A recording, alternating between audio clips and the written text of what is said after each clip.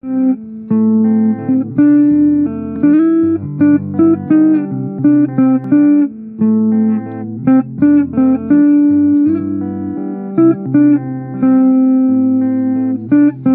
next session will be on fixed wing electric aircraft, which we all uh, see already in the air. And we all think that this is something which uh, will come the next uh, step, probably before the eVTOLs. Uh, there have been already last year uh, the certification of the uh, Pipistrel um, uh, Velis uh, in the CSLSA class, and we see that this aircraft is sold uh, quite wide around the world. We heard several times about uh, um, Pipistrel, so this time we invited some other uh, competitors in this field who will want to bring up certified electric aircraft in uh, different fields. I see my first speaker the vice president of uh, the Beijing Institute of Technology, Mr. Zhang Li, Li Guo, uh, is uh, already ready. I see slides are on the screen. So for saving time, I hand the word over to you and uh, in interest to listen what you have to say about this subject. Thank you. Ah, now you switched off the video anyway, but maybe you can start speaking because I think the video now has been switched off of the speaker. Hello? Uh, hello. 哎，各各位专家哈，各位这个业界同仁啊，大家下午好。首先感谢这个陈鹏陈鹏总啊，这个搭建这样一个国际舞台哈，让大家在这里头呢，呃，共同探讨 这个电动航空的一个发展啊。我呢是做了十一年的电动航空。E-flight, I have over 11 experience in e-flight industry and uh, previously uh, Xing is a model that I worked with uh, President Yang. So uh, in the general aviation, industry, I've been involved with various fields, including the R&D, certification, as well as operation. There are a lot of things I can, I'd like to share with you. So the topic of my speech is the development trend of e-flight and uh, the key technologies of propulsion system. There are three chapters. First of all, I would introduce the development trend of e-flight. This is mainly based on our previous experience. First of all, there is a diversity of um, energy source, including hybrid.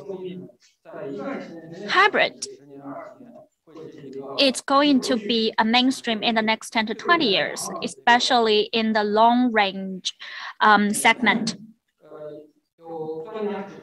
And uh, some experts point out that for the endurance of over 800, hybrid power has a very good advantage, especially in the uh, military use and uh, um, long distance of UAV transportation. Hybrid power is very advantageous. And another energy source is lithium battery. And uh, the last one is um, electric hybrid, solar lithium battery. So um,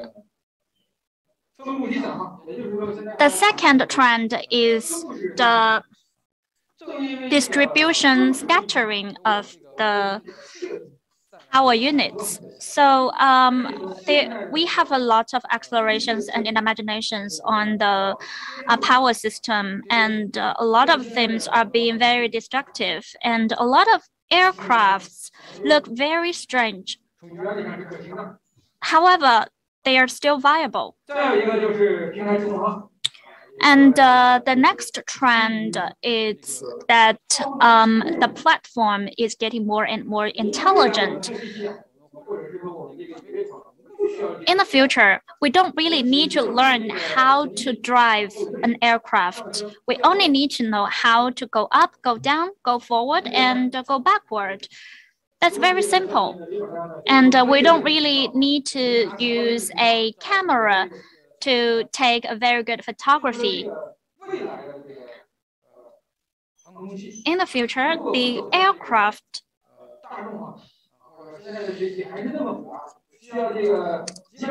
so if it is still so complicated, which requires hundreds of hours of studying, aircraft will not be able to enter into the mass market. And uh, the key challenge that we encounter is that we still there is still not a rigid demand of from the market. This is a major pain point. In the future, I hope that with the platform getting more intelligent, we will be able to have aircraft enter the mass market. And uh, you can see that the design is getting more and more diversified. For example, there are different geometries and different design, different look. So uh, there are fixed wing and uh, compound wing and uh, tilt wing and tilt wing is going to be a mainstream in the future.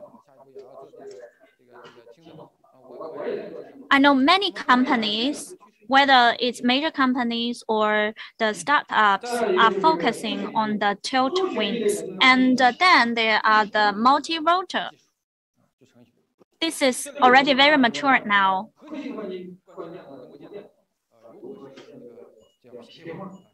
So that really depends on how we are going to match with the market demand. And uh, the second chapter I'm going to introduce is the technological system of the e-flight motor and controller technology. So uh, this is just like mobile phone. You can see that there are um, different types of charger. How can we uh, charge a connector? Well, actually, we need a standardization of the charger inlet. We have a very systematic research in the standardization, and in the future, we will collaborate with Wallon and other companies to make an industrial standards of the um, aircraft motor.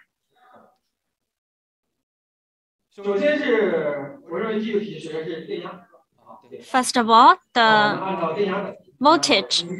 There are different categories of voltage level. So first of all, low voltage, uh, lower than 60 volt. And this is mainly um, used for the, um, this is mainly used the um, radial motor and uh, it is a air cooling system and uh, usually we use P BLDC controller and this kind of uh, motor and controller we should really confirm with the manufacturer to uh, confirm the environment, use environment of this kind of motor and controller because uh, usually What's written on the package is about the power that you use when it is in the ideal environment.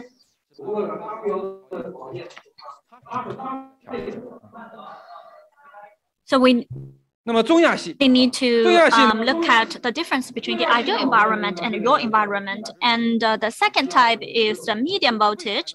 Um, usually it is around 100 volt and uh, mostly they are 72, 96, and 144. And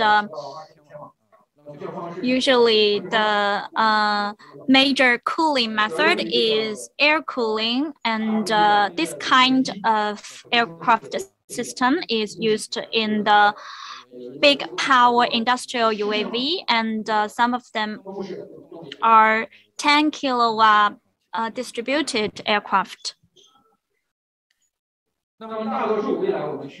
However, the main major mainstream will be the high voltage category, which is uh, 350, 600, and 800. And uh, these technological system done by Professor Shang have um, uh, Professor Shang has done a lot of research on it, and uh, we also expect a standardization of this category.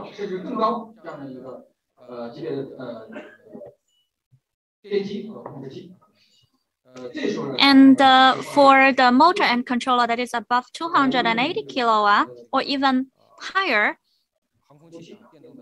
this is the major usage. And uh, um,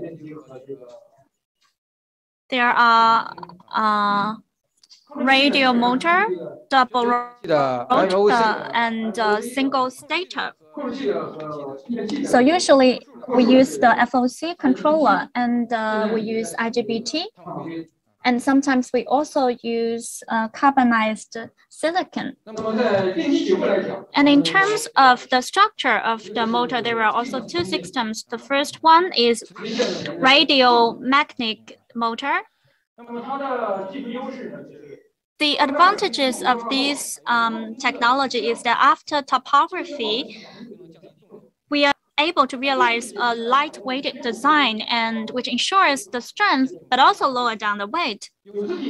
And uh, also the permanent magnetic um, use the holdback to make us um, remove the rotor and uh, we are also able to use a very high efficient internal oil cooling or water cooler to improve the heating capability of it.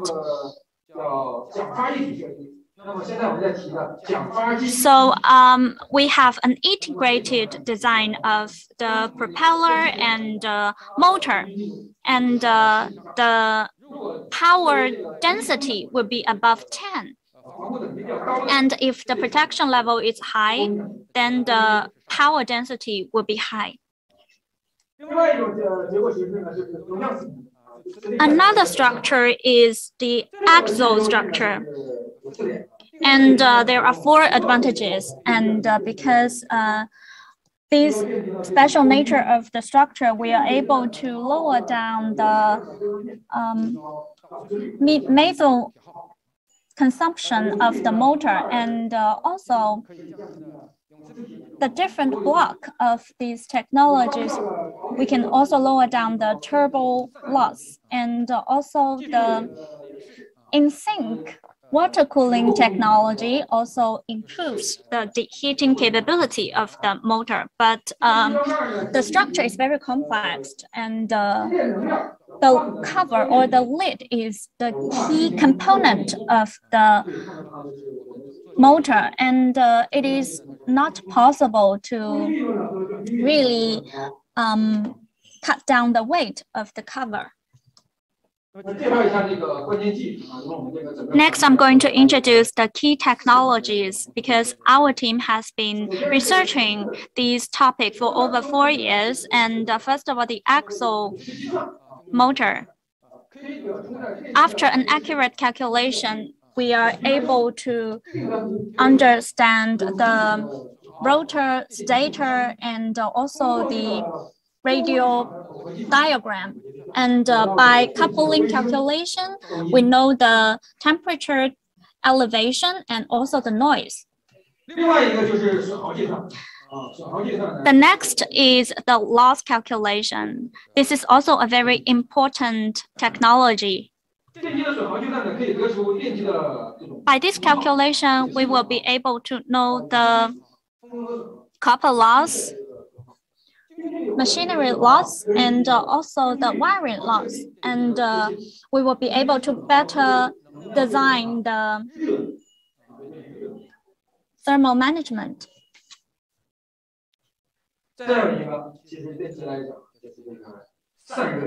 And then the deheating structure is also very important. We also have um, systematic research.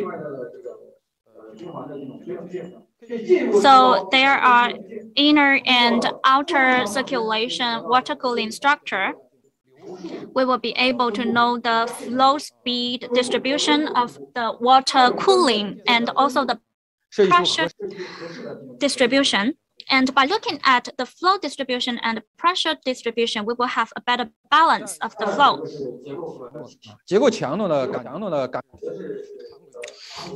And about the design of structure and the intensity. So for motors, this is a difficult point because it has to integrate into the cooling systems. And another key technology is the controllers. So controllers is highly relevant to the motor. We want to improve the overall efficiency. So initially we chose the motor of Slovenia and the controllers from Germany. But it causes a lot of trouble for us.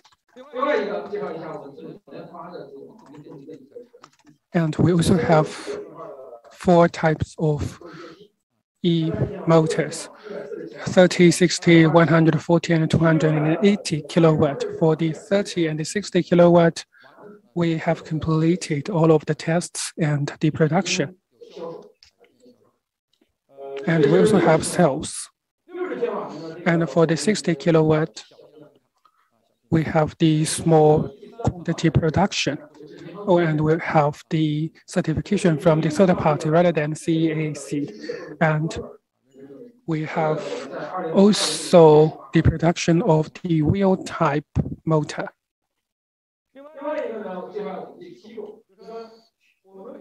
And about my institution, my school is led by President Wang Dongsheng and several academicians.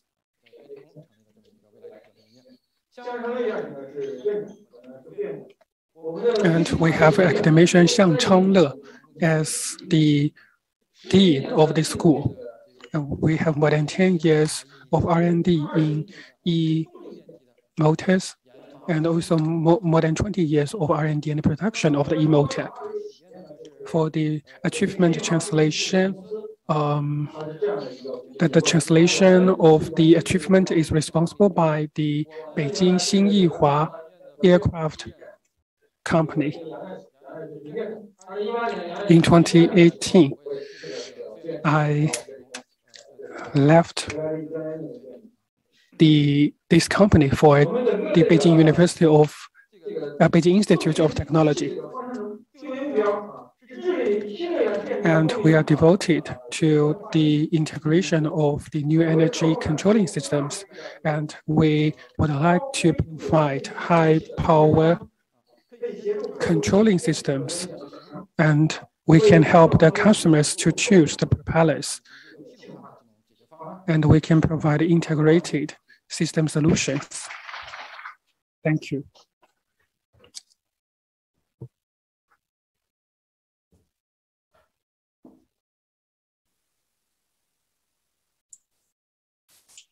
Thank, thank you very, you very much, much. Um, for this nice overview of what's happening. And I know uh, you are also or have been involved, like you said, in the RX4E project, where we have had several times presenting at the eFlight Forum, which is a Chinese project now working on a four seater. And we heard some information yesterday. Now, our uh, next speaker, Maarten, if you could switch off on your camera that I can see you and your microphone. Maarten Vrijling from Diamond Aircraft. Ah, here you are. Here you are. Uh, uh, hello, and uh, uh good to see you again. And we had Maarten presenting last year, and it was a big surprise, uh, or not a surprise because Diamond was working on electric aircraft for a while. But last year, you had the, for the first time, released the vision and the project of having the DA40 uh, electrified. Um, electrified. This um, is supposed to be an aircraft in the Part 23 class. And so um, maybe you try sharing your screen, and then if you share your screen, the stage is yours, and you will explain what you're doing. What interesting background information why you do this, perhaps for our perhaps for our visitors and viewers, that uh, Diamond Aircraft is an Austrian company, a leading European company in fixed wing uh, aircraft in the Part 23 uh, class, training class, um, and class. Diamond uh, is since uh, I think three years, two and a half, three years now, owned mainly by a Chinese uh, uh, owner. So you're also between the two worlds, like we with the forum. So I see your screen is up. I mute my mic and I leave the stage to you. Good. Yeah, thanks uh, for the introduction, uh, Willi. And uh, good morning to everybody who's listening in from, from Europe, and good afternoon to the audience in, in China. Um, it's a pleasure that I'm allowed to speak here on this uh, forum again. Um, my name is Maarten Vrijling, uh, and I'm uh, the technical lead of the um, electric DA40 project here at Diamond Aircraft. And in the next 10 minutes, I'm going to tell you a bit more about some technical details and also why we as Diamond decided to invest and move forward um, in this technology. But first, a bit about our, our history, because Diamond has actually quite a rich history in terms of um, alternative fuels, alternative um, electrification technologies, hybrid drivetrains, as well as electric uh, drivetrains. And all started back in 2011 with the DA36 E-Star, which was the world's first aircraft with a serial hybrid uh, electric drive uh, system. And we um, collaborated as part of a um, um, research and development project, funded project together with Siemens uh, back then. And with these, this aircraft, we demonstrated the uh, hybrid flight principle, uh, meaning that with a relatively small combustion engine uh, powered just for cruise, you are able to um, maintain sustained flight and with the electric motor, you can provide some boost power uh, in order to keep flying. This aircraft was quickly followed in 2013 with the E-Star 2, um, which is actually an improved version of it, uh, more range, more payload. And um, it really showed us what was possible with this technology. So that's why we continued with HEMEP, uh, which stands for Hybrid Electric Multi-Engine Plane, which was world's first twin um, engine serial hybrid um, aircraft in 2018. And you could kind of see this trend moving forward uh, in being the first. And that's what we try to achieve also with the EDA40, becoming the first certified full CS23. And with full, I mean uh, both IF, uh, VFR and IFR certified uh, full electric aircraft. And that's the project uh, we're working on at the moment. But first, why electric? Well, purely because it um, provides quite some value to our customers. Um, electric offer, aircraft offer significant value to operators when compared to, say, combustion engine aircraft. And the key benefits include um, reduced operating costs, um, simpler maintenance, which translates into a higher uptime of these aircraft, and most importantly, and that's really driving it, um, the environmental factors. So um, lower or no, no emissions, and also lower noise production. And why, uh, why now? Well, it also has to do with the, the battery development trends. And um, there's well-established trends in the electric uh, battery space, which are accelerating at the moment. So the battery prices are, are falling. And at the meantime, the um, capacities, energy densities are increasing and also over regulators are becoming more acquainted with the use of uh, such battery systems as um, a proposed energy source in, uh, in aircraft. And the result is, is that um, at this moment, all electric aircraft are already commercially viable um, in certain applications. And um, it's actually likely to expand into other uh, segments in the near future. And that's also what, what this forum is about I've heard interesting stories about uh, about larger, say, um, commuter-style aircraft, about um, eVTOL, and that's definitely where the trend is heading at the moment. Then a bit about, our customers, because uh, a big group of the uh, people flying our aircraft, uh, the Diamond Fleet, are flight crews, and these are perfectly suited for the adaptation of electric aircraft. Um, why? Because right now there's a high demand in, in flight training um, and also that these flying schools operate on a narrow margin, meaning that they uh, benefit uh, from lower operating costs. Um, they also benefit from um, uh, less frequent maintenance intervals, which um, is also a benefit of electric powertrains because um, the electric motors are relatively simple. um, and also result in less maintenance compared to a complex combustion engine. And finally, emission laws are tightening, uh, not only uh, gas emissions, but also uh, noise emissions. I do want to mention right now is that the EDA40, uh, so this electric version of the EDA40, uh, will not be a direct replacement of the combustion engine um, counterpart. Um, instead, it's seen as a add-on to the Diamond training family. Uh, so basically, the EDA40, the electric version, can be used in really the first phase of pilot training um, for all flights operating in the vicinity of the airfield. So, uh, for example, uh, circuit training, uh, local flights, etc.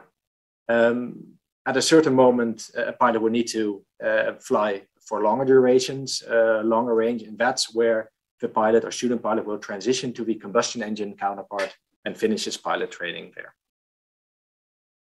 So this, um, if you translate that into requirements, it basically means you need to have an aircraft that can be used in flight training with an endurance somewhere between one and two hours, capable of both VFR operations as well as IFR. And um, changing that into a product requirement means um, that we want an aircraft with at least uh, 60 minutes endurance with reserve, as well as having the ability to either quickly change or quickly charge a battery, uh, ensuring that the aircraft can fly um, as much as possible. So um, this brings me to the EDA40. Um, what exactly is it? It's uh, currently um, an all-electric two-seat uh, basic surgeon training. Um, two seat in the initial phase. That's how we're going to uh, do the initial certification. However, the fuselage is uh, capable of, uh, of course, having four occupants within it. And the idea is, is as battery technology is evolving uh, further, um, we are planning to actually provide an upgrade to either the endurance of the aircraft or uh, in, in, terms of payload, um, allowing for more than two seats. And within the, the CS23 class, we will be fully prepared uh, to do that. Um, this aircraft will also include a fast charge battery system um, with, uh, I'll come to that later, uh, with a expected turn turnaround or a charge time of uh, 20 minutes or less for this aircraft, which is uh, very important when utilizing it in a um, flight training environment. Um, some specifications. So the takeoff power is going to be uh, similar to the uh, DA40NG um, payload of 190 kilograms for this two-seat initial version. And we try to keep the control and cockpit layout um, similar or identical to the DA40NG. And that makes it possible for um, students transitioning from an electric version to the uh, combustion engine version um, to, to do this conversion with um, to convert very easily. And we plan to have the certification uh, finished by the end of 2023, so within the next two years. Then a bit more detail about the battery system uh, we're using. Well, we've partnered up with uh, Electric Power Systems. Um, it's a US-based company dedicated uh, into providing power solutions uh, for aviation. And their system will include the battery modules, um, high voltage battery uh, management units, uh, disconnects, low voltage power distribution, ventilation of the system, um, etc. And we're actually quite excited to partner up with them because um, they have a quite extensive uh, portfolio at this moment. And up to now, they have a perfect safety record in field, which is very promising. Um, the system we'll be using is a 800 volt DC um, uh, system voltage, which compared to say these 400 volt uh, DC systems uh, results in less current losses as well as low, lower cable masses of the system. The idea of these battery modules is that we use multiple of them and you can mechanically connect them together in, in, in a row. Um, and this also includes say, the connections for communication and high voltage. And that saves on the complex wiring and saves weight as well. The capacity will be around 80 85 kilowatt hours, uh, which ensures an endurance of up to 90 minutes. Um, and the batteries right now uh, are located, um, or we plan to have them located in a belly pod underneath the fuselage, meaning that the um, cabin space remains, um, um, that we, we have enough cabin space remaining for um, a future upgrade to uh, more than two seats. Um, cycle life right now is um, estimated at around uh, more than 2,000 cycles, which is around 3,000 flying hours. However, um, early tests have shown that uh, this is probably a conservative value, and we expect it to increase um, as we get these aircraft flying. And then a bit about redundancy. Um, safety is a very important aspect in, in, in aviation. And um, we plan to have a, a so-called uh, double string battery system, um, meaning that if half of the battery system is allowed to fail, and it will not result in a full loss of power. And especially in single engine aircraft, that's a very interesting um, um, idea um, of having a, um, not having to account for a full uh, powertrain failure. So where does that bring us in uh, practice? Well, in practice, um, the operating costs are going to be drastically reduced. Uh, our estimations show that it can be up to 40% compared to traditional uh, piston aircraft. And this is, this is basically due to the lower maintenance costs, as well as the lower fuel or energy costs. And especially as um, um, we get more and more electric aircraft and infrastructure at airports, we also expect there's going to be some some funding um, available or um, um, say some some some cheaper way of getting energy also in terms of um, sustainable uh, in sustainable ways.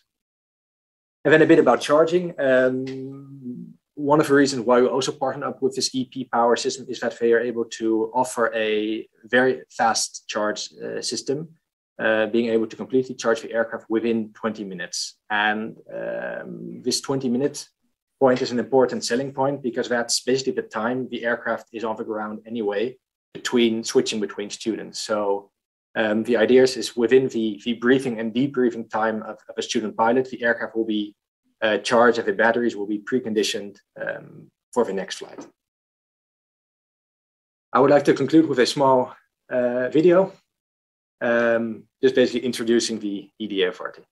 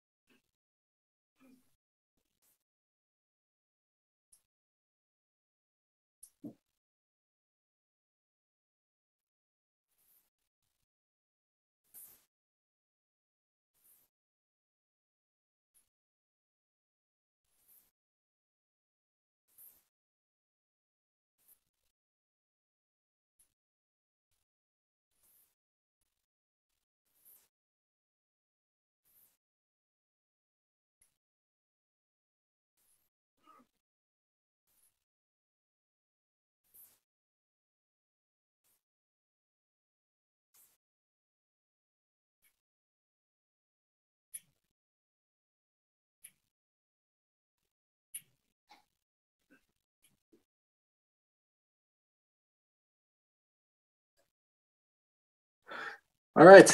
Um, thanks uh, a lot for your attention. And I'm happy to answer any questions you might have uh, later on um, when we have time for it. Thank you. Thank you, uh, Maarten. And very interesting how good the progress is since uh, we heard about the aircraft last year uh, about at the same time. And if you think we are in uh, COVID times, really congratulations to the progress you have done there. Our next speaker, uh, Calin, if you could get online. Oh, you hear me? Yes, I hear you. I uh, try you... to uh, put video. Yes, I, I get a... Now you are in. We see your video. Yes, perfect. Okay. Uh, and so we hear I present you. from my computer? Yes, this would be what we suggest. Um, and just a little introduction, Calin is working on electric aircraft already quite a long time here from Germany. He had with his very first aircraft, we had it at Aero at the E-Flight Expo already nearly 10 years ago. And he is uh, now working also on a training aircraft like Diamond, but in a different class, in the ultralight class. So if you could share your screen, I hand the mic over to you and you tell us, because you know much more to say good things about yourself than I can do. So uh, if you go, yeah, just presentation mode. You see? Okay, perfect. See the present. Yes, we see the presentation mode. So stage is yours. I mute myself now. Hello, my name is Calin Gologan. I'm a CEO of company Elektra Solar together with Konstantin Kondak. And uh, we present our new product, Elektra Trainer, which will be introduced at the Aero this year in Friedrichshafen. You see here a picture. Uh, a little of the history of our company. Uh, Elektra Solar is a spin-off of the German Aerospace Center DLR, Institute for Robotics and Mechatronics. And the roots of the company are in 2011 under the name of PC Aero GmbH. And the first aircraft from us, Elektra One, was flying in March 2011. You see here a picture of the first flight with the test pilot John Karkov. Then we founded Elektra UAS for unmanned aircraft systems. And uh, in 2016, we merged both company under the name Elektra Solar. So the roots are in PC Aero.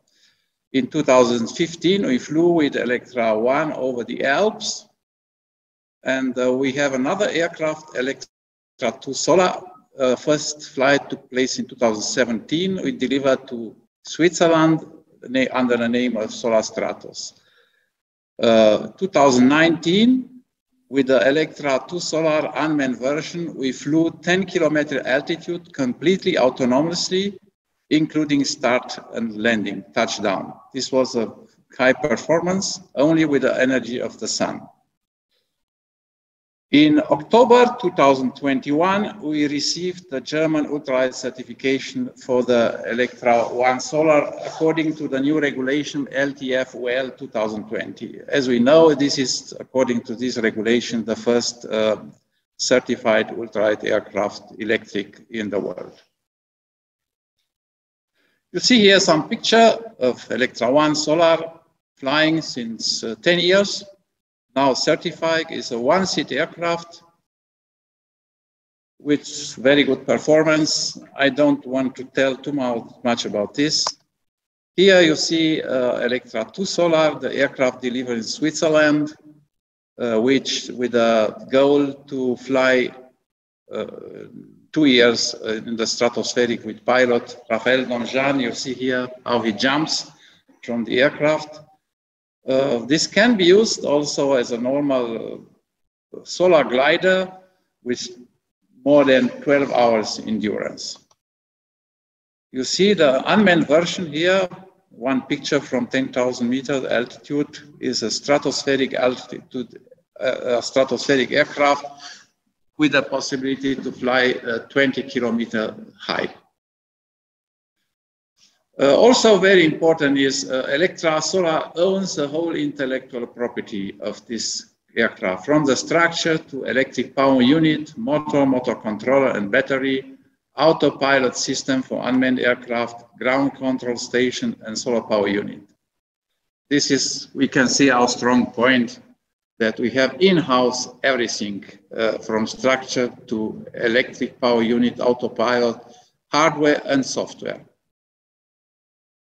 Now, Elektra Trainer. Uh, why we start this aircraft? Because we saw that in the next year will be a high demand for trainer aircraft electric with low operation costs. Uh, practically, this aircraft is a modified version Elektra One, so that from, from the certification point of view, we have a big advantage. We have no, no development and certification risk. We did this process with Elektra One. We need only to repeat it for a little skate, it's a little wider fuselage. Uh, the wings, uh, similar with Elektra 1, only reinforced. And uh, from the philosophy, we want to have a high-end aerodynamic. A glide ratio is over 21. For this reason, the energy to fly in a training cycle acceptance climb is only 12 kilowatt for a cruise speed of 120 kilometer per hour we have a big battery package of 25 kilowatt hours, and this uh, provides a flight endurance of 2.5 hours, uh, including reserve. We, we are, what, what are the highlights of our aircraft? At first, I want to say whisper silent. The noise level is 25, 555 decibel. When the aircraft is flying at 300 meter altitude, don't hear. It's similar with Elektra 1, which was in Elektra 1, we had a noise level of 55 decibel. We have a robust structure. We have an efficient, reliable, redundant propulsion system. The redundancy of our propulsion system is in the motor. We have a dual motor, two rotors on one axis. We have on each side has its own controller and own battery system. So we have a redundancy on all the level from motor up to battery. Our range is 300 kilometer, endurance I mentioned 2.5. We have a very large cabin, cabin 1.25 meter wide and accommodates two meter pilots. Wonderful view outside. And very important, we have a portable charging station. We, we charge with 12 kilowatt. We can charge also 18, but normal 12 kilowatt and weighs 12 kilogram. And this we could then put in the battery package. And you can load with normal, a normal plug 220 volt or four plugs, but also with 380 volt. So from the logistic point of view, it's a huge advantage. We have a very short takeoff and landing. We are quite good powered, under 200 meter, and uh, long battery life. And very important for logistic is also assembly time. This aircraft will be assembled from one person in 30 minutes. We have special tools how to. And uh, this is for logistic and for clubs and very important. Important for us, we designed this aircraft also for good training cycle. So 50 minute flight, 30 minute charge with 12 kilowatt. And this is very important. I will present a diagram here. Operation cost. We calculate very carefully the operation cost, including depreciation of the aircraft, including battery, the battery cost, including electricity, hangar cost, insurance, everything. And we are only at 65 euro per hour. And this is a very good value. And if we, a normal aircraft in this class has an operation cost of 100 euro, and if we redistribute this on the whole life of the aircraft, we can say that the customers share uh, saves in the whole life of the aircraft about uh, 350,000 euro. And for this, this was practical an aircraft designed for very low operation cost. Now look on this aircraft. Uh, here I simulated training, six hours training per day. I consider one hour training 50 minutes, then come down. We start with 35 kilowatt, 32 kilowatt. We don't charge the battery up to the limit. We uh, then we land after 50 minutes, 30 minutes charge, then uh, another 50. So you see the first half left with three hours of flight, during the lunch time, we charge full the battery 1.5 hours and afternoon another three hours. At the end, we still land with 14 kilowatt hour, enough reserve. And this is very important. If you see, we charge and discharge the battery in flight with only 0.34 C, the 12 kilowatt. And this is a guarantee for long life. And for this reason, we don't need a, liquid cooling. We have a simple air cooling and we save battery life. So technical specification, uh, the optimum cruise speed is low, is 120 kilometer per hour. It's in the region of the best light ratio. But of course, we can fly up to 180 kilometer or more. Uh, the glide ratio 25, uh, then empty weight 400 kilogram, maximum weight 600 kilogram, a wingspan of 13.5, uh, optionally extension winglets 40.5, propeller diameter 1.75 uh, meter, and certification according to the new gen uh, regulation LTF UL 220. We have a retractable landing gear electrically, and uh, we have parachute include, flap also retractable, for also electrical retractable, stream retractable. Project status, we are we finalized the design. We uh, built now the prototype. We, are in the end phase of, of, of, of, prototype building, and we present the aircraft at the Friedrichshafen Aero 222 this year, next year. And the German ultra certification is uh, planned for summer next year. We just have the first orders and we expect that uh, the market in, uh, in, this sector will be very good in the next year. Of course, after delivering some few aircraft in this class, we are following also uh, the EASA certification in the CS LSA. So this was a short presentation. If you have questions, I'm happy to answer to you. Hi, Colin. Thank you very much. And very interesting project. And later, uh, we we just covered also a lot of information on this on our eFlight journal, which is one of the magazines supporting the eFlight forum. And uh, so I think, as you're just in time, we will talk about this later. Now we should go to our next speakers uh, to keep the timing. And this is now uh, we had a, an ultralight aircraft. We had a Part 23 aircraft. We know there is already a, a CSLSA in electric. Calin, your screen is still short. If you could end the screen sharing would be great. And I ask now, next on stage would be uh, Andreas Strohmayer, who also has been from the University of Stuttgart, who also has been presenting uh, uh several times. Um, uh, Calin, I think your screen is still, uh, your PPT is still on the screen. You have to stop the screen sharing. I think, uh, yes, that's done. Perfect. Hello, Andreas. Uh, sorry that we can't see uh, again in China because you have been traveling to our real event in China already. And uh, I think we both like it more seeing in real, having good food and talking to the people. But uh, we take that what we have, which is the presence here. And you have some very interesting project, which I think started recently. You had uh, several electric projects on the university. Um, if you try to share or if you share your screen, then I would let you explain because you know much better than me uh, what you're working on. Yes, the screen is coming up, so I'm off. Stage Very good. Thank you, Willi.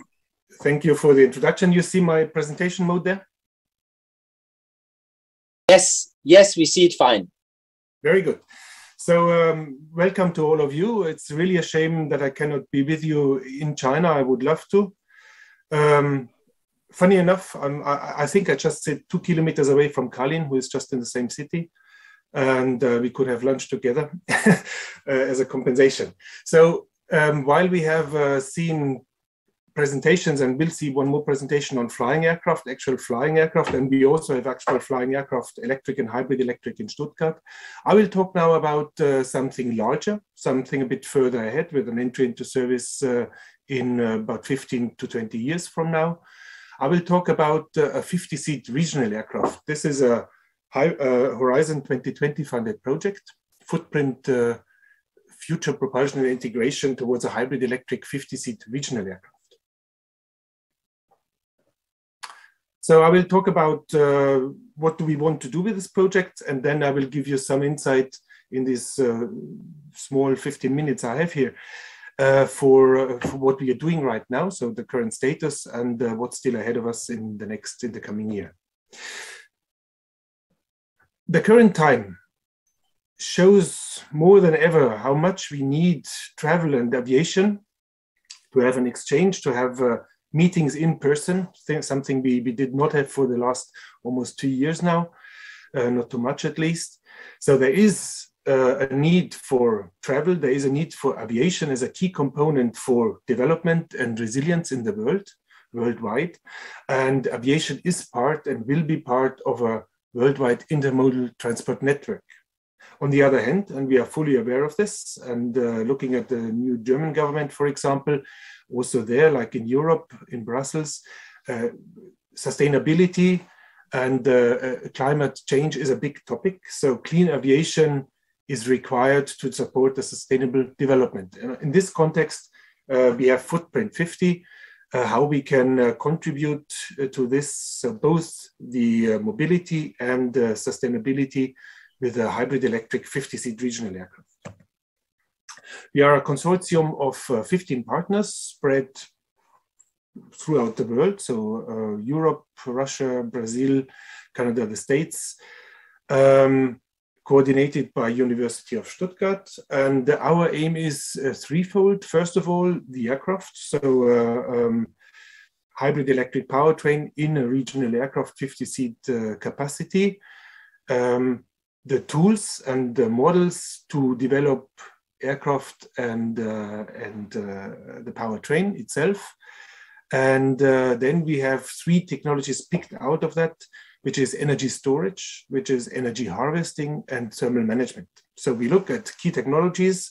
We look also at the regulatory framework and at uh, research infrastructures required to get this in as entry into service uh, 2035. So 15 years from now, 14 years from now, um, we have to speed up to um, to get this complex task achieved in this size of aircraft. So, of course, uh, having designed and built aircraft before, an aircraft is more than just the hybrid electric powertrain, but of course, and we do all the development work for a viable aircraft. But of course, uh, this project is focused on the powertrain with energy storage, with energy harvesting, and with thermal management. And uh, to get this, to achieve this goal, we work with uh, model-based systems engineering, MBSE, and therefore we have put ourselves a mission statement. We will go through it briefly. So uh, we want to develop a synergetic aircraft design, synergetic in a way that uh, the integration of this powertrain has synergies with the airframe. Otherwise, what you will learn if you do work on these kind of aircraft uh, the more components you add, uh, the more efficiency you might lose if you do not look for these synergies. So we want to develop a synergetic airframe, aircraft design for a commercial regional hybrid electric aircraft for 50 seats, entry into service 2035, 2040. And uh, we want to identify the key enabling technologies and also a roadmap for the regulatory aspects. So there's also the certification aspect and the operational aspect what regulations would be required for such kind of aircraft. Um, this design shall help accelerate and integrate hybrid electric aircraft and technologies to achieve a sustainable competitive aviation growth. So we still want to grow, but this has to be sustainable and at the same time competitive. And um, we want to um, incentivize to, to, to, to uh, uh, speed up regulators, air traffic management, and energy suppliers to prepare for the challenge to come. Our aircraft, of course, leading in emissions and noise, um, safe, no doubt, it is still an aircraft, so operational safety is uh, without compromise. Um, we have to look for competitive operational cost, which is not uh, a self-running uh, task. So this we have to look how we can achieve. Um, operational improvements uh, compared to current regional aircraft. And um, we uh, want to also look at the, what is required, what changes are required to the current infrastructure. And there we want to limit. Current status of the work. Just briefly, we have looked, uh, so we are in the second, we have finished the second of three years. In the first year, we have looked into what do we want to build, so top level aircraft requirements. We have set out the requirements for the aircraft itself. We have set out uh, environmental requirements, so emission reductions, noise reductions that could be uh, requested from such an aircraft. We have defined um, specific flight missions, which will help us now that we are developing the aircraft, help us now for uh, mission simulations. So uh, different missions with uh, specific tasks. So there's a design range, 400 kilometers is the range for our aircraft. But uh, with our Russian partners, we have learned that 400 kilometers in this vast country is not really uh, interesting or would not deliver to the real task. So there has to be the option to have uh, also 800 kilometers. We have looked into missions with cold operations, hot and high missions, extreme cold operations. Uh, so we always have looked for city pairs that, uh, uh that could have these extreme requirements. Um, mountainous terrain, that means a steep climb after takeoff and steep approach. Uh, island operations, which means then that uh, you would have to fly forth and back uh, without refueling in case of uh, no landing possible at the, at the island. So uh, we have to see how this can be done and short takeoff and landing operations. Figures of merit. So if we develop the aircraft, how do we um, how do we assess whether we have a good design or not, whether we achieve our targets? So we have tried to put um, the different um, evaluation aspects into a formula, a, a, figure of merit that allows a full comparison. And uh, the major factors are the emissions, are the cost, and also on the realization side, development, certification, and production aspects that we try to uh, bring into this evaluation, uh, which will finally define which way to go for such an aircraft that shall fly 2035. We also uh, have defined a, a, conventional aircraft for comparison, so uh, a reference aircraft, where we have uh, um, ported the, the today's state of the art to 2040 2040 and uh, uh, so conventional technologies but improved so that we do a, a, apples to apple comparison if we have our aircraft with a hybrid electric powertrain and uh, all the synergies we, we try to bring into this airframe so that we compare this to a future aircraft not to today's aircraft or to an aircraft that's already 40 years old um, in terms of aircraft design, what we have done so far, we have uh, looked into seven different powertrain architectures. What is a powertrain architecture? It starts from energy storage, where you could have batteries, uh, uh, hydrogen capacitors, so whatever you, however you, you store your, your energy.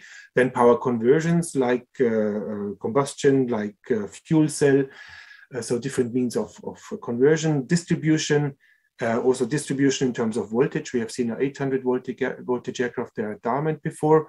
So which voltage is the right one is a question. And then uh, the propulsor integration. So is it conventional propulsion just uh, in a parallel architecture or is it uh, uh, direct combustion of hydrogen or is it distributed electric propulsion? So we have different means. and we have looked into these architectures, have assessed and have designed aircraft from that have looked at the impact of each of these architectures on the airframe uh, and aircraft configuration, and um, then came to a down selection of three architectures which are priori uh, prioritized now for preliminary design. So to go a bit further, deeper into preliminary design with three different goals, as you can see there. There's one on the left side, uh, carbon neutral, which means we have sustainable aviation fuel. Uh, we also have battery for uh, electric propulsion in addition to the conventional uh, combustion engines, turboprop engines with sustainable aviation fuel. That's, uh, let's say, the ambition on this aircraft is still there, but it's uh, relatively low compared to the other configurations. Then we have a more ambitious configuration where we have zero carbon dioxide, so hydrogen powered, no, no carbon dioxide in combustion, uh, and a uh, reduction on, uh, on nitrogen oxides. So batteries, fuel cell, um, to have the electric path and direct combust, uh, combustion of hydrogen together with uh, parallel architecture electro electric uh, drives on the shaft of the turboprop. And the, the third architecture on the right side, the most daring configuration we have in our down selection so far, which is uh, distributed electric propulsion, um, batteries, and uh, hydrogen and fuel cell. The deep dive into energy storage. So battery modeling, we have a partner which is uh, very experienced in batteries. Uh, batteries and battery design has an impact on aircraft design due to the weight connection. So we have uh, two uh, iterative loops interconnected. So the battery sizing optimization, taking into account uh, all electrothermal aspects, the aging, safety, of course, So, and then not only on battery level, but on systems level of this battery system, battery storage system. And then the impact on the overall aircraft design. And uh, with the aircraft design could be more requirements on energy storage, which then brings an iteration in our design cycle. So this we tried, there we tried to, to interconnect the models of aircraft design and uh, battery design. Energy harvesting um, energy harvesting by recuperative, recuperative uh, uh, propellers. So um, it has been done, but in this size of aircraft has never been investigated in depth. So we go into the wind tunnel with this. We do modeling, uh, uh thorough modeling of, uh, uh, of the propellers themselves. And we, we want to optimize the blades for cruise and for harvesting, or we have to see whether this is possible to have a blade that is optimized for both. And uh, then we also want to look at the noise, at the air acoustic performance, and uh, see what you can gain with this energy harvesting in total. If you, you there's not so much kinetic, uh, uh, there's no so much potential energy in the aircraft. In the end, it's such a regional aircraft. How much this brings, if it's worth the effort to have energy harvesting by propellers or by some of the propellers, that's one of the questions, and we are working on that. Thermal management, just uh, uh, uh, illustration here compared to the human body, it's about the heat transfer between heat sources and heat, heat sinks to control temperature of the aircraft subsystems. We have all these electric components. Think of a fuel cell 50% efficiency. You have to take a lot of heat away in this range of aircraft. And uh, the question is, how can we uh, do this? Not to bring too much drag onto the aircraft, cooling drag, and uh, to find clever ways, clever materials, clever new technologies, how this can be done in such hybrid electric regional aircraft. Next steps. The one, the one thing, as I said before, is the technology roadmap. So how to see um, uh, what is the state of the art, for example, energy harvesting or batteries or fuel cells, what is state of the art there? What would we really need to have a viable, competitive product in 2035 or 2040? And uh, to define the gap and to, to, uh, to bridge, to, to provide solutions, how these gaps can be overcome. But again, it's not only about technologies, it's also about the framework in which such an aircraft will operate. So we have to look at the regulatory roadmap. For example, if we have an aircraft with hydrogen, all the regulations around operation with hydrogen and uh, yeah, for example, emissions, emission requirements, uh, and then the certification, the te technological aspect of, of uh, regulations. So uh, high lift, uh, takeoff speeds, maneuverability, redundancies, a lot of new questions with such a hybrid electric powertrain. To come to a conclusion, clean aviation is what we all have to look for for a sustainable regional uh, development and resilience. Uh, we can think that with these 400 kilometers, we can have a new network of, uh, of uh, operations with uh, shorter ranges, but uh, smaller sized regional aircraft, electric, full electric, if it's commuter aircraft, but hybrid electric in this regional aircraft size. it is doable. We have to join efforts to get there clean aviation, as you might know, is, uh, is, is one of the answers to, to this kind of problem.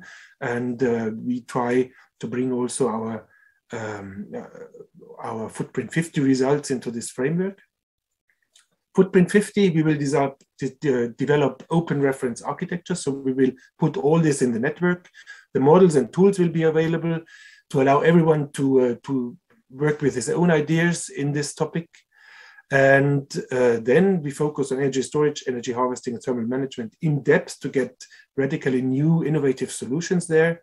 And what we all have to learn, and that's why it fits into this session, we have to learn to scale from the aircraft we have seen from Calin, from Diamond.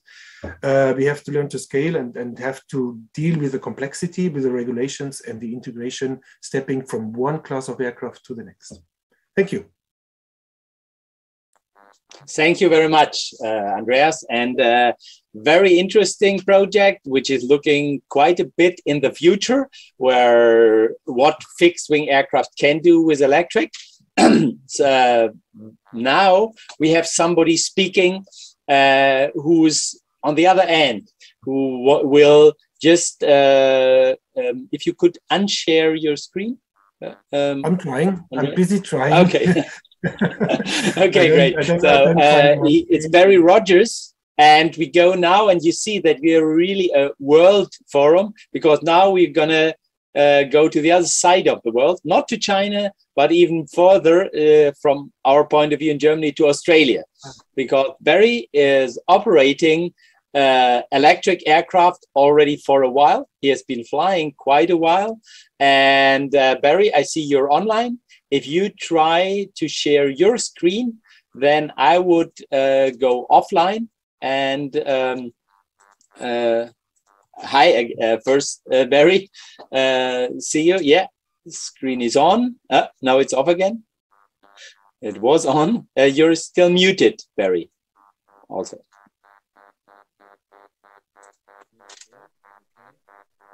Yes, unmuted. And now we look wait for the screen.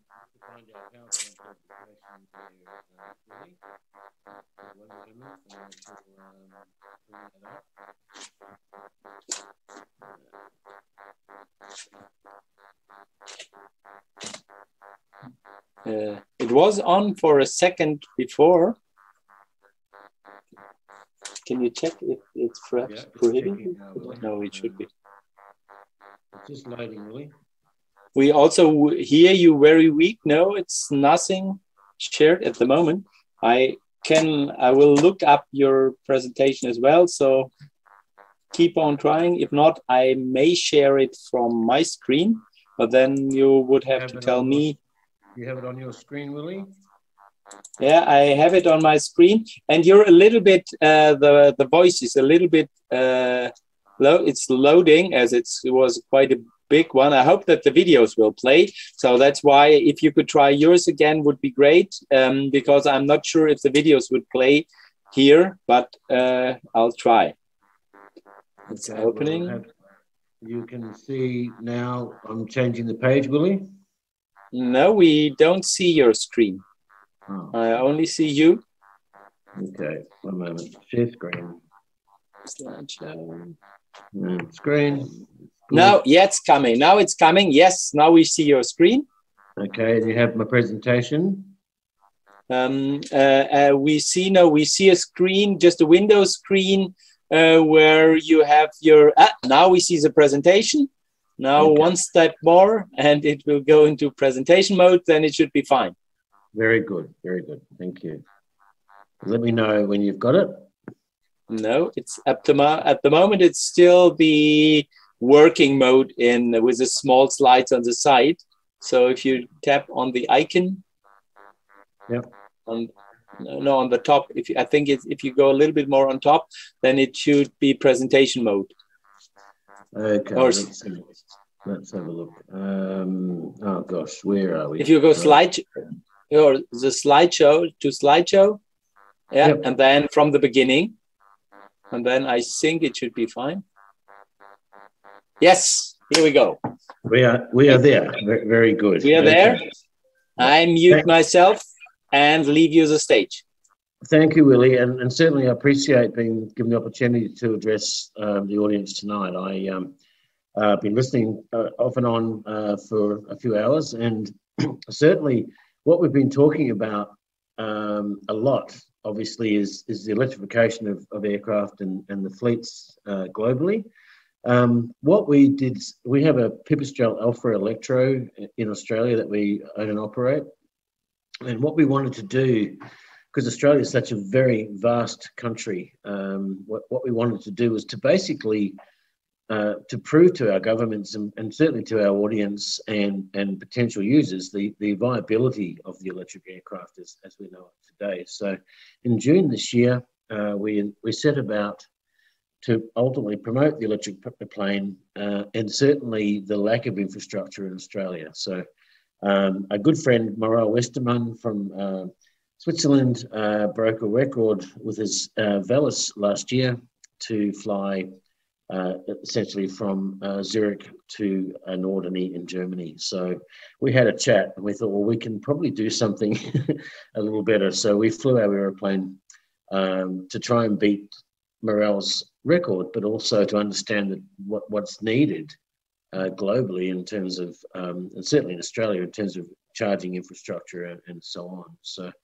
um, obviously the aircraft we flew was, was our uh, Alpha Electro, very very small as we all know. Um, I think we're all familiar with the product and the aircraft, so it's not something new to us. But um, to fly it around uh, the outback, the group of people, uh, as you see there, myself obviously, um, my partner and, and, director of our company, um, two very experienced pilots who are both um, now fully aware and fully fully capable of flying the electric aircraft we had a camera aircraft and uh, a, a, third aircraft actually to carry our, our charging system, drivers to, to um, bring generators before and be ahead of the aircraft's next arrival and certainly uh, behind the aircraft. And so eight people, uh, five flying days, a very big undertaking.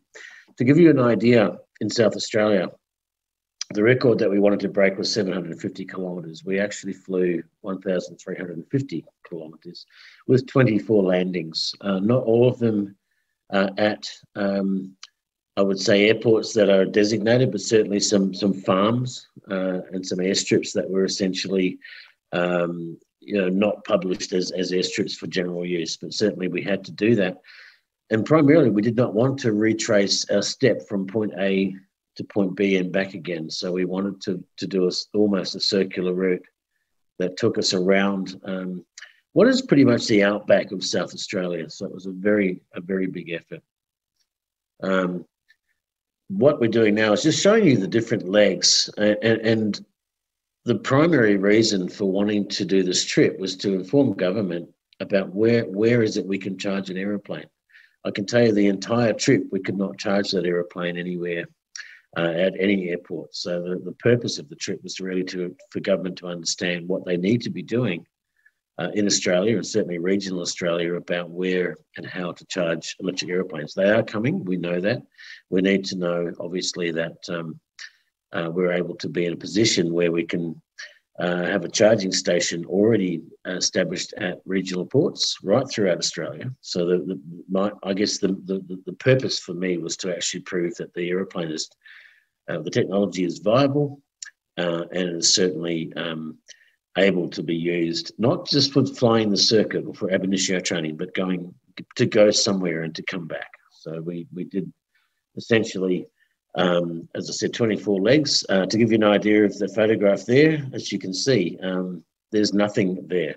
there is there is an airstrip. Uh, you'll see the the Alpha Electro um, in the, basically on the right hand side of the picture. Um, and we had a Cessna 172 chase plane carrying our generator system and obviously vehicles to charge along the way. I might point out um, in that trip that the only place that I found in the entire trip was a, a one million acre uh, property that ultimately is a sheep station, and that's where you see the photograph there. That's the red dirt of the Australian outback. Uh, but it was the only place that we found we could actually charge um, the aeroplane uh, off the grid, which was very without diesel fuel. so it was very interesting. Uh, fairly iconic photograph as that's come to be. Um, ultimately, yeah, we, we did a lot of legs. We we made it an educational trip for schools and for students. So you can see the bottom picture there where we had a group of students from the local school came out to, to visit and, and it, it was very, very big news in Australia this trip. It took us, as I said, five days um, overall, flying days, eight days um, totally because of the weather, but uh, very, very fascinating. Um, we also, um, in this particular picture here, um, we uh, our pilot David that you see seated was was basically uh, at, in the middle of that flight. Uh, actually broke broke the record, and you may see him uh, give a little fist pump. He knew that he'd broken the distance record uh, in flight, uh, coming back from one of the locations. So we were very pleased to be able to do that in flight and give a little fist pump to show that it was uh, it was certainly happening. Uh, obviously, what does one do when one breaks a record? I think you celebrate. So obviously, we we certainly um, we did that. Very uh, we had to fly the next day, so the champagne was uh, obviously very um, uh, very minor. Um, the record was broken on the 21st on the, on the in June in 2021. So this is the team that we took with us. Uh, as I said, we comprised uh, two vehicles, two generators, uh, three aircraft, uh, three pilots, and uh, our ground support. So that's basically the crew that you see. Um, obviously, just just to give you an idea, there's there's no infrastructure at most of the airports that we flew to. So um, we had to make do. We had to improvise where we could. Uh, we found when we got to this particular airport that we've been using uh, dirt and certainly gravel and, and strips that, that ultimately had an effect on the aircraft. It um, uh, the nose wheel fairing, as you can see, has been removed because we found we had a, a, significant nose wheel shimmy throughout the flight and realised uh, it had a build-up of mud actually in the fairing, so we removed it and obviously kept flying. So um, this one here is is basically uh, our last leg, I, I suppose, coming into uh, into Adelaide. So um, gives you an idea that we flew from some very remote strips, uh, essentially right into the heart of Adelaide, uh, with permission, essentially from the uh, the airport owner. So quite happy about that. Um, and Adelaide Airport, of course, is, is our is our state um, major metropolitan airport, and we were happy to be able to be given permission to land there. We certainly used very little of the runway and got off it as fast as we could. So, so that's really that's really the essence of the uh, of of the trip there. Um, I'll go back and stop the share on on that and talk about, you know, I guess the purpose and the purpose really was to make sure that our government's informed about what charging infrastructure we need. Um, since that trip, we've moved on uh, quite quite uh, significantly now. We're looking at microgrid uh, charging systems at regional airports that we will, as a company, uh, implement for, for the local owner of the airport or the, the local government and so on. Uh, and that to me tells me that we can do as many regional flights or certainly uh, cross country flights. Um, when we talk about the range of the Pipistrel with, with a one hour range and certainly a um, a one hour charge. Uh, yes, it's a very perfect aeroplane for ab initio training in the circuit, which we do. We have we own a flight school and we, we do that every day. However, um, we need to make sure that the infrastructure catches up to the technology as well to support the aircraft that we're actually introducing. And, and listening today with so many new products uh, coming on the market and, and so many new uh, aircraft that have will have uh, I guess, better capability we need in Australia, particularly to inform our, our government and certainly our, our airports that um, without the infrastructure supported, then you're not going to get the visitation. So that's that's really the main, uh, I guess, was the main driver for us to break. Yes, we broke the record and it was fun um, and very expensive. Um, what I'm not seeing uh, globally with a lot of the companies producing uh, new aircraft, certainly in prototype stage or otherwise, is, is actually the um, what's behind that. It's, it's great to have the the plane and we're flying it and we're test flying at our local aerodromes or airports or wherever, but I'm not seeing um, the behind the scenes push to support electrification at, at at destinations. So that's really become our focus now, um, and we're we're pretty excited to actually be a part of it in Australia. It's still the only electric airplane in Australia. Um, hopefully, that's not for too long. Uh, we're also looking at uh, development of an electric aircraft in our own, in our own capacity as well. Not so much to compete, but to actually enhance the um, the fleet capability in Australia. So um, beyond that, I think it's it's really important that these forums allow us the opportunity to speak. Um, you know, in in in the sense that we, you know, we're all together in this in this particular project, uh, COVID or no COVID. Um, we've found that COVID here, like you all have, has had severe limitations, but it's also given people time to think about um, what the future looks like and and and to continue to develop aviation. So, so very privileged to chat, and I'm happy to take some questions if there are any, Willi. Thank you very much. And uh, you really give us a close view uh, of the near future of electric aviation, which is great because it's uh, the future is here. You we could say it because you're flying electric and not just talking about it. And uh, we've seen all the difficulties. I think we heard also about the aircraft you're requesting that some manufacturers are on the way producing this aircraft. And sure, the infrastructure is a key problem. Uh, and that's also the our next session. So um, I would just ask uh, the speakers of this session, session because we have one little problem that due to some technical things, and so we're a little bit behind schedule. And as this year we are not just online, we are online and real. And as it's the last day of the forum, and in China it's already getting night, like in your place, uh, the uh, uh, some of the people have would have to leave. Um, so you speakers of the session, if you could uh, briefly unmute, unmute, and I can, if I can ask you if you can do the Q and A of this session after the last session, that would be another uh, let me see. Uh, yeah, put in the galleries and I see more. Anyway, we will start with the questions. And uh, first question, now I see you as well. Uh, for the first question would be for, um, uh, for the, for Andreas Strohmayer concerning on this new project you're in there. Um, I understand that this is a, quite a long future you're planning on. You're doing starting testing, but I know you have had the smaller aircraft, the Genius also. Um, is this still to be continued? Are you still looking forward of perhaps also in a GA aircraft working, or is the university now focused more on the, uh, let's say, commuter and larger side? No, we do both. So thank you for the question. We do both. We did not give up uh, small aircraft and now we're just in conceptual design. I think one of our strengths in Stuttgart is that we have real aircraft flying at the university, manned aircraft flying.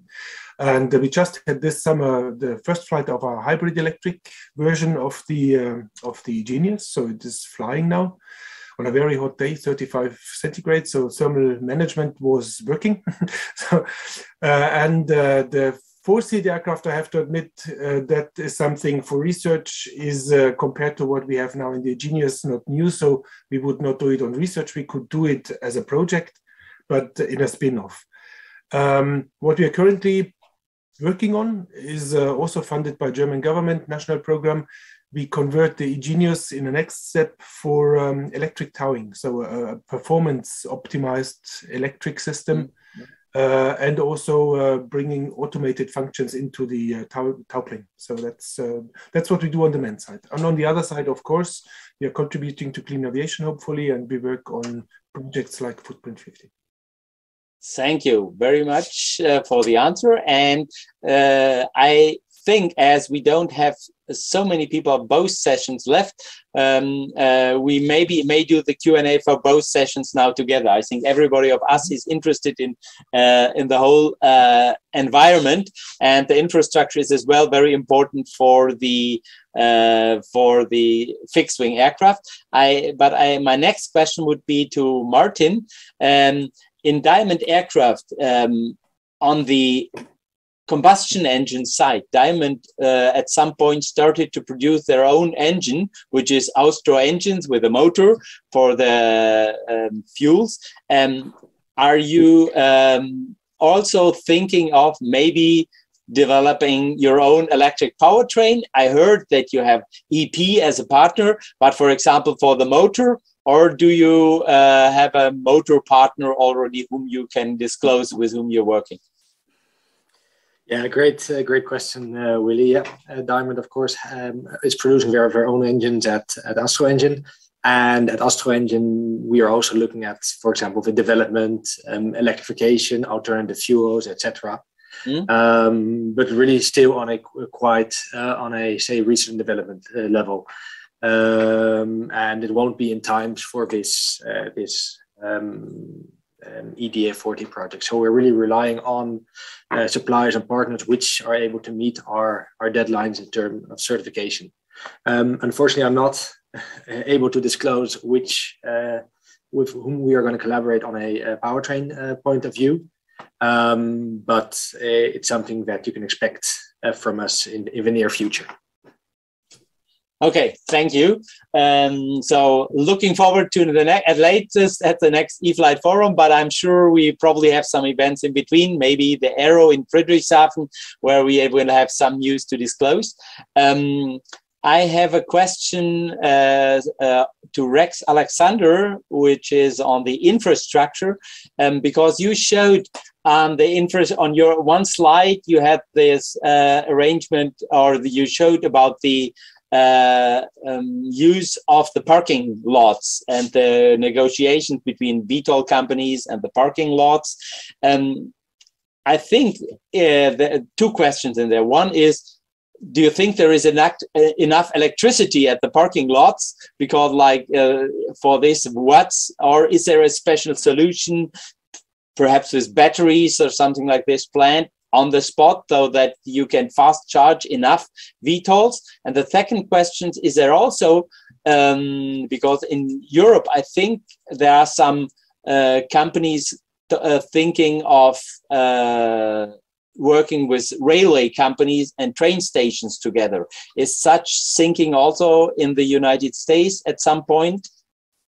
No, good question, Willi. in looking at the parking lots, that was one of the things that I looked at when I was with Uber as their infrastructure advisor. Um, parking lots and parking areas uh, lend themselves very nicely to this uh, environment because they have this nice open footprint. And I found in looking at a lot of the ones here in the United States in large cities like Los Angeles that um, they they also don't have a lot of uh, encumberments with surrounding obstructions. Uh, you bring up the electrical piece. Uh, a lot of times they probably don't have the electrical capacity that necessary for this industry. However, to be able to run that electrical power in is a lot easier at a parking garage because it's non-occupied than it is at a standard building. So running um, running electricity uh, to the roof of, say, a normal office building is a lot more challenging. Um, one of the things that I know that is being looked at by several different organizations is portable electricity. Uh, so if you think of a fuel truck that goes to the fuel farm, refuels, and comes back and then refuels the aircraft, we're actually seeing prototypes being worked on that are electrical fuel trucks. They go, they recharge, they come in, then they have multiple charges for the aircraft, then they cycle those back out. So you can actually move your grid slightly away from where you're actually landing.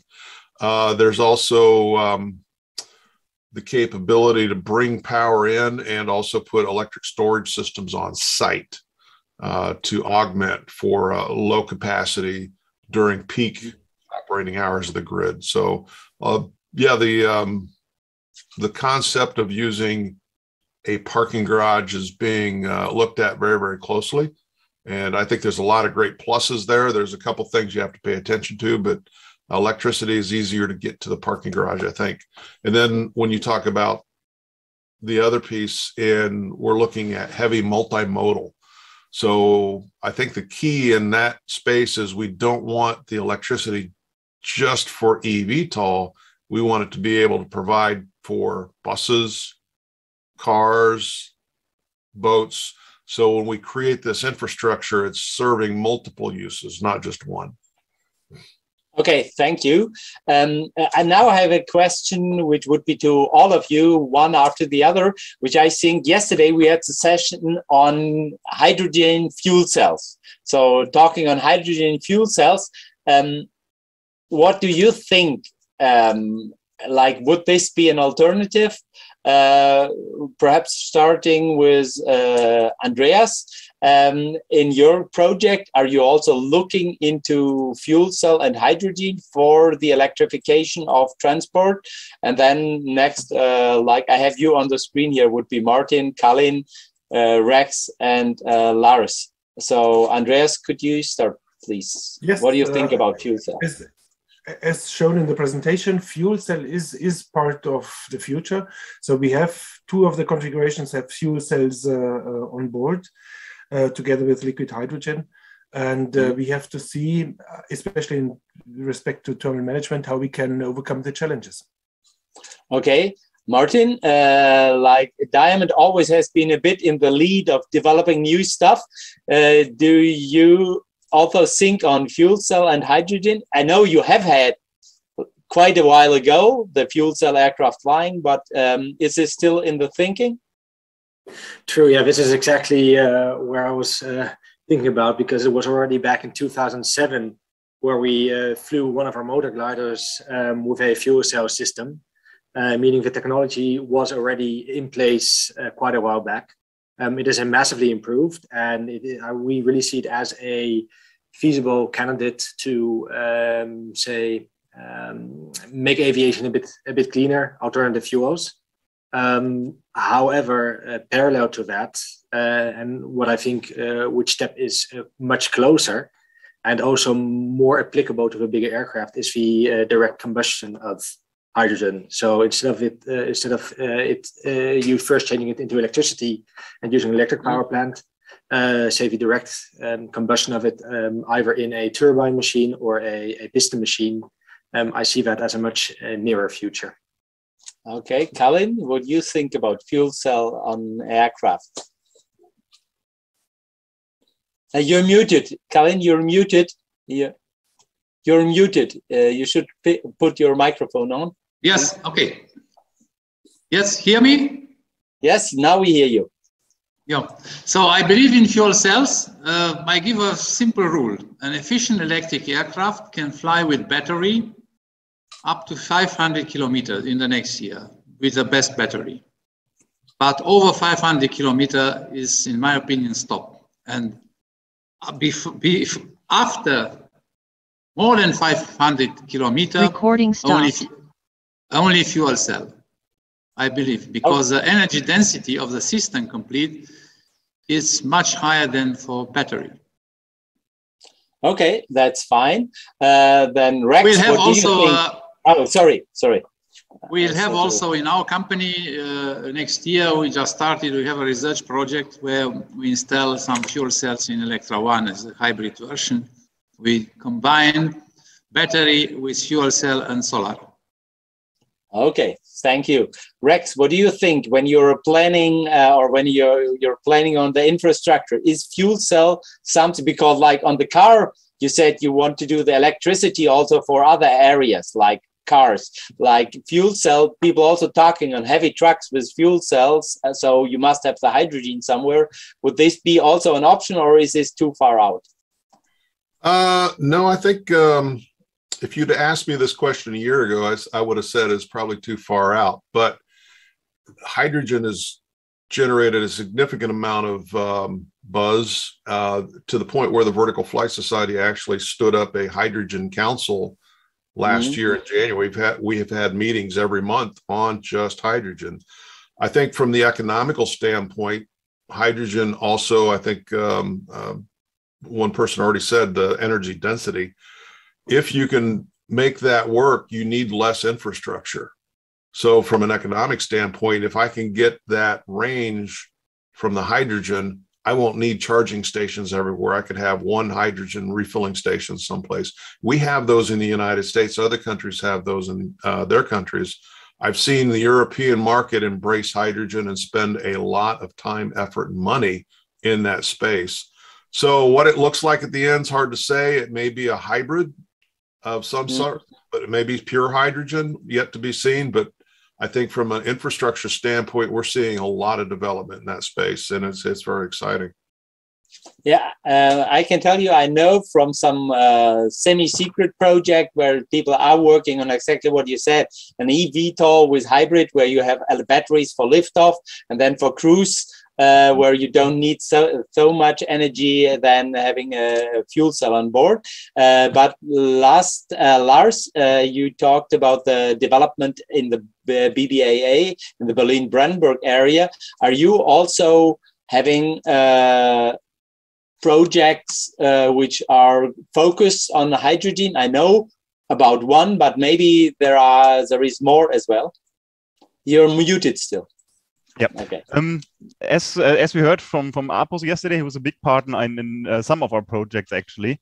Uh, they are aiming towards having the first uh, market-ready product in in that uh, in that area from from general aviation uh, stand of of the industry. Anyway, talking about infrastructure and uh, the CEFA, for example, our technology center that I talked about will include uh, hydrogen infrastructure, of course. The next step would be syn uh, synthesizing from the hydrogen to power to liquid fuels, but that's just to keep on, on using combustion engines, which should be a bridge. But in the end, I think uh, then we will see see all of it in, in some regard. There might be niches for, for any solution in that. Okay, Thank you very much. And I'm sorry, but now I, we have to come to the end. I would like to continue talking with you. What I want to do, perhaps if you could, I would share my screen now and show you some areas where you can find the information which you have had here all condensed like we will have recordings uh, which will be in the internet we will have the powerpoints. And so if you want to wrap up later if you want to contact uh, some of uh, other people later you can contact sure always me or us here at flying pages or at our partner z park in uh, china. But um, there are some possibilities like this stream from today. It's already online. The stream from yesterday is online. We will cut it and uh, post product it for having it a better access.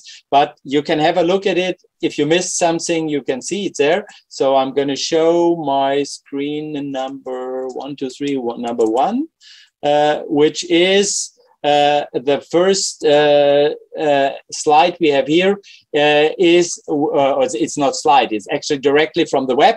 Like if you go to the eFlight forum site, you click on the live stream, um, and then you have the live stream right there.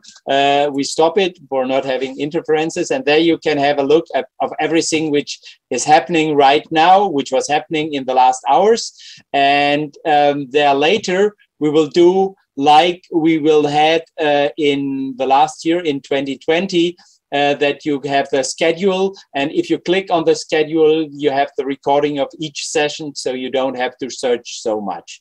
Um, what we also will have is because most of you probably know that we have the uh, eFlight journal. The eFlight journal the magazine where we had here uh, the reports on what was going on in the forum but we also have uh, on the eFlight forum, uh, eFlight journal site, uh, we, we have a magazine. And we decided to, like last year, to have the next magazine uh, right after we uh, have this uh, uh, digirated all the information we received here on electric uh, aviation on eVTOL. So uh, you have a magazine here where uh, you can have a look and you see, you, you recognize the aircraft you see here.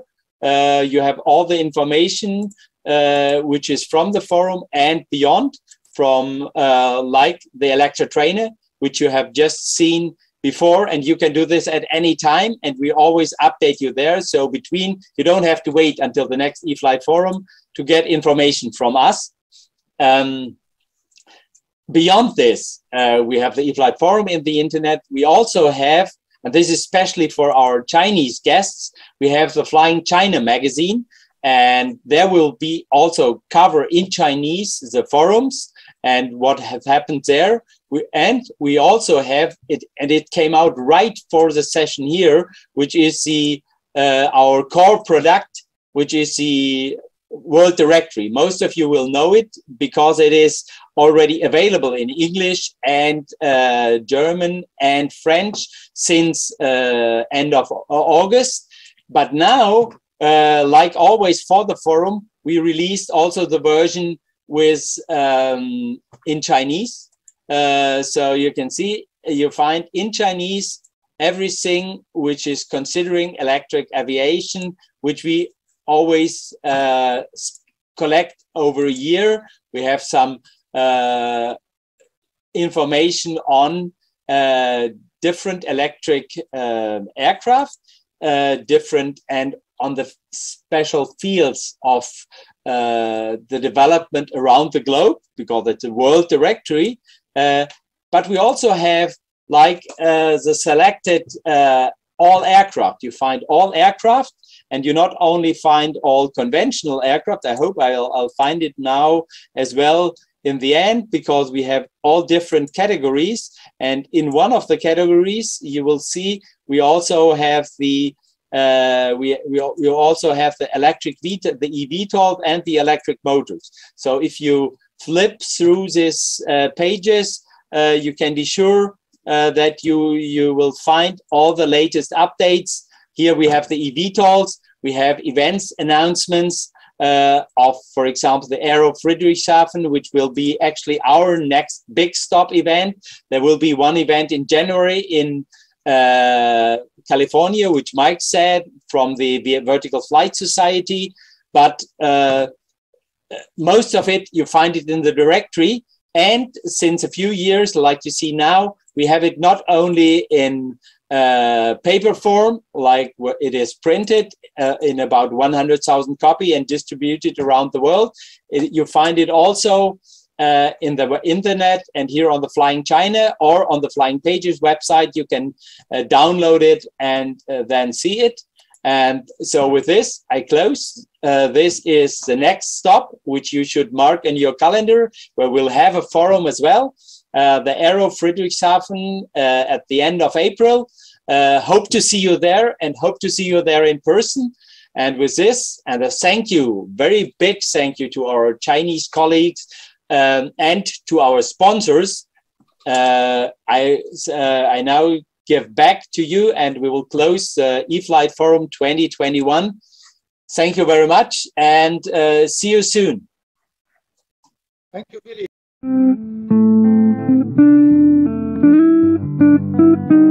Thank